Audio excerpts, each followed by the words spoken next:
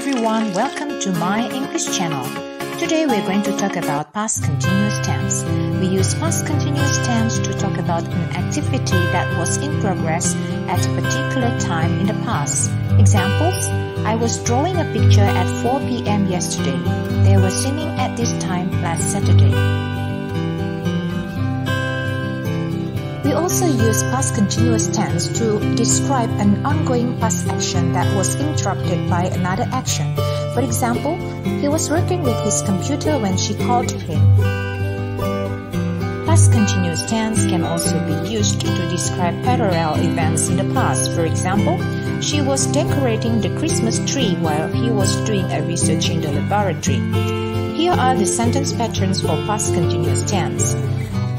How to make positive, negative, and interrogative sentences. Also study the time signals for past continuous tense. In a moment, you are going to watch a video to help you learn more about past continuous tense. Just relax and take your time. It was 9 o'clock in the morning, everybody in the town was doing their own work. But suddenly,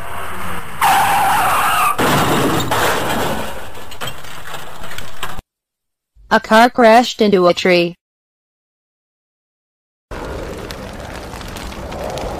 Everybody shared this news with other people, they said. When the accident happened, I was doing my homework.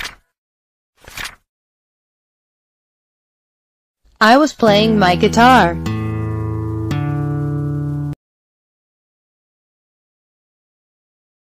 We were having a great party.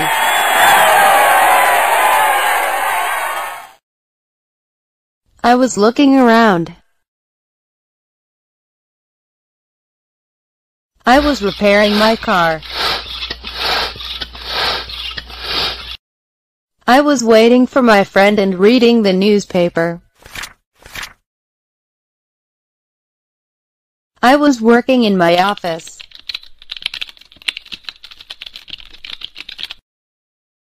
I was mending the roof.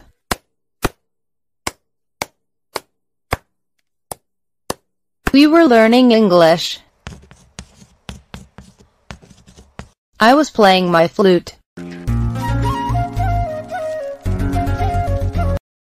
I was making a phone call. Now let's practice the past continuous tense.